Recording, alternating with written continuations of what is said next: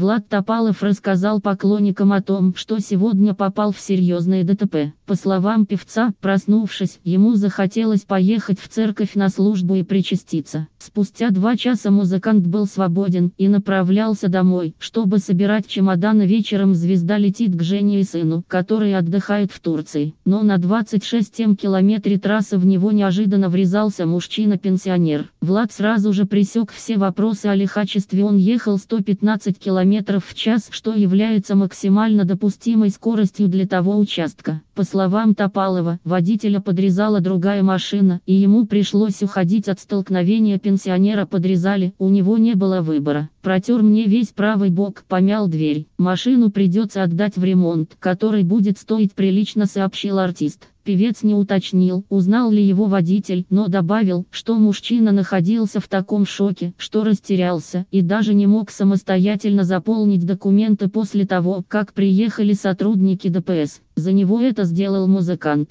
Топалов ни в чем не винит коллегу по несчастью. Более того, выполнив все формальности, они разговорились, и Влад узнал историю его жизни. Три года назад водитель пережил страшную трагедию, потерял сына. Сейчас пенсионер занимается воспитанием дочери и помогает внукам. Он рассказывал это со слезами на глазах. Как злиться? Конечно, нет. Мы мило пообщались, ведь все бывает. Слава богу, что все живы и здоровы, сообщил экс-солист группы Smash. Влад Топалов и Регина Тодоренко фото. Инстаграм Влад добавил, что после аварии у него сильно испортилось настроение, ведь в отношении машин он педант, ни пылинки, ни царапинки не должно быть на любимом авто. Музыкант не стал уточнять, в каком состоянии находится транспортное средство пенсионера и кто будет заниматься ремонтом. После того, как все вопросы были улажены, певец спокойно отправился домой, собрал вещи и поехал в аэропорт, чтобы прилететь к любимой Жене и сыну. Правда, сидя в ожидании рейса, обнаружил, неприятности на сегодня не закончились. Он забыл iPad, в который два дня закачивал фильмы и сериалы для просмотра. Вроде из храма вышел, вроде к семье лечу и все хорошо, а Господь испытывает. Но я принимаю со спокойной душой и твердым убеждением, что на все его воля. Тем не менее, я расстроен. И настроение грустное рассказал Влад. Влад Топалов с маленьким сыном Михаилом фото. Инстаграм он также добавил, что ждет встречи с Региной с маленьким пельменем, так ласково называет сына певец, который несколько дней отдыхает в Турции, а своим подписчикам пожелал беречь друг друга и быть аккуратнее на дорогах. Клэс Пост 619 500 подписчиков.